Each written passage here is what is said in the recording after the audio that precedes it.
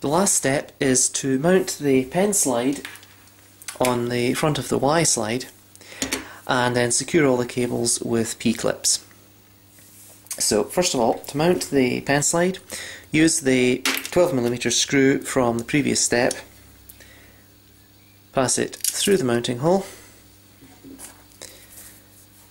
then using the Posi-Driver number 2 screwdriver, locate the pen slide over the ends of the Y rails and tighten the screw up.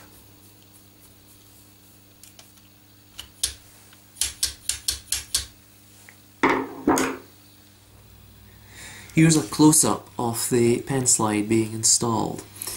The two holes in the back of the pen slide should locate over the ends of the Y rails. These protrude slightly from the, the front Y block. So make sure the ends locate over the Y rails and then using the Posi-Drive number 2 screwdriver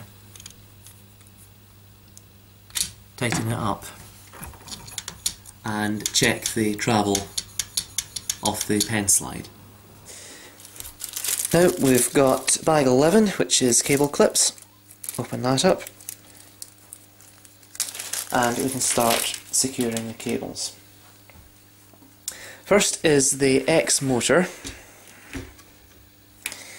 So we plug in the X motor cable. And then secure it with a cable clip and screw and washer using the Posi-Drive 2 screwdriver.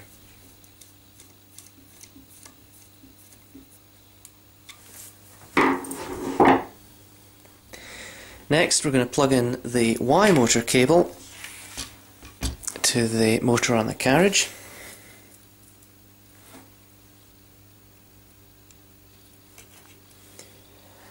And we're going to secure both it and the servo cable with to the same point with clips. So we want to pull the servo cable, pull the y-axis fully forwards to extend the servo cable. and we want to hold the cables about that position there. While holding them, just move the y-axis backwards and forwards and check that the servo cable flexes freely and doesn't snag on anything. Once you're satisfied it's well out the road, you can then mount both of them with cable clips. One there. and one about there.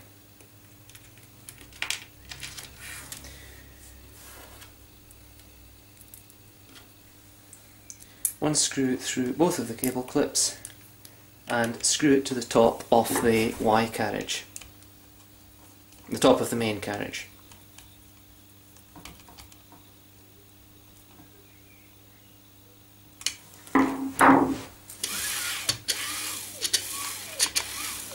Check the travel again. It's still good. Last job is to move the carriage fully to the right and we'll hold both the Y motor and servo cables to the left here move the carriage left and right and again check that they don't snag on anything they bunch up and flex freely.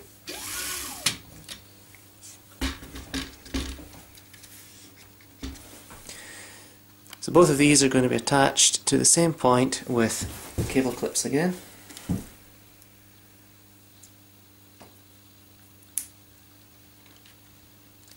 One there and one there.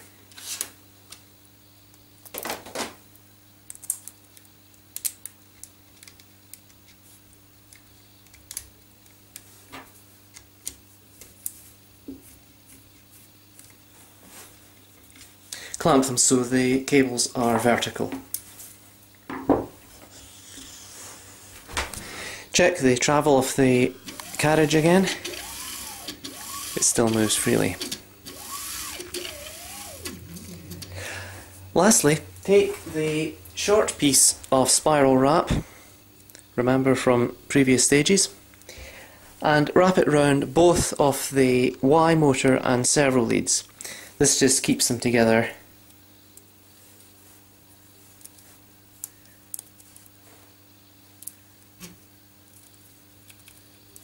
like so.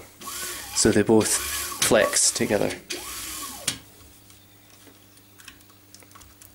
Pat down the cables underneath.